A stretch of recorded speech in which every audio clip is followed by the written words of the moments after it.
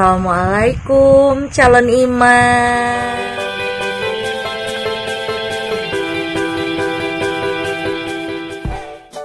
Sebelum patah hati, cita-cita tak ternyata gemar berolahraga untuk membentuk tubuh. Dilansir dari indosport.com, pedangdut cita-cita pernah jadi sosok yang rajin, membentuk tubuh seksi hingga berotot. Namanya kini tengah disorot setelah dia mengungkapkan rasa sakit hatinya sampai menangis. Cita-cita tak merupakan salah satu pesohor tanah air yang sangat memedulikan kesehatan tubuhnya. Salah satu cara dia menjaga kesehatan adalah dengan berolahraga. Ditelusuri melalui akun resminya di Instagram, Cita-cita tak sering membagikan momen saat dirinya meluangkan waktu dengan berolahraga.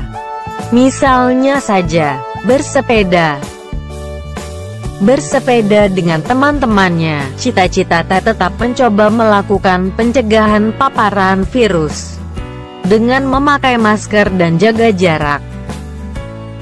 Olahraga yang tak kalah menarik yang dijalani cita-cita yakni latihan kardio yang membantu dia menaikkan berat badan sekaligus membuat tubuhnya sedikit berotot. Masih ingat dulu, berat badanku masih 36 kg, sekarang 44 kg. Olahraga bisa bikin orang kurus jadi berisi. Orang gemuk bisa kurus, sehat, stres, hilang, dan fresh. Tulis cita-cita tak lewat postingannya. Cita-cita tak sendiri saat ini, tengah dirundung duka. Kisah asmaranya dengan pria bule Roy Iger, yang nyaris berlabuh ke pelaminan, akhirnya kandas di tengah jalan. Saat ditanya awak media soal alasan mengapa cita-cita tak lagi melanjutkan hubungannya itu, ia tidak memberikan jawaban secara pasti.